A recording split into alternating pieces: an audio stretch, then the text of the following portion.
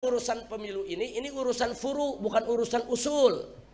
Ini bukan urusan usuluddin, ini urusan furu, furuuddin. Bisa jadi kita berbeda. Mungkin orang punya pandangan berbeda, makanya jangan kaget. Di pasangan lain kan ada, ada kiai juga. Di pasangan lain kan ada habib juga. Di pasangan lain kan ada santri juga. Jadi jangan saling mengkafirkan. Nah, ibu-ibu di sini nih, kalau ada enggak habib, kalau saya mau ke 02 atau saya mau ke 03, itu hak ibu.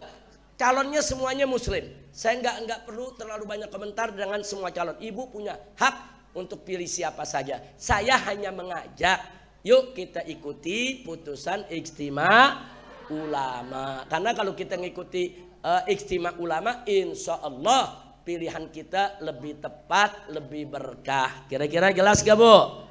Nah, tapi ingat, jangan mencaci maki yang berbeda pilihan bu ya. Nggak boleh, jaga persatuan, jaga persaudaraan kita.